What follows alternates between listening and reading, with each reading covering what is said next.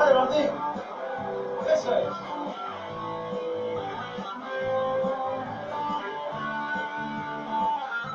Amores virtuales, amores salvajes, sueños reales que buscan sus sueños en redes sociales. Amores virtuales.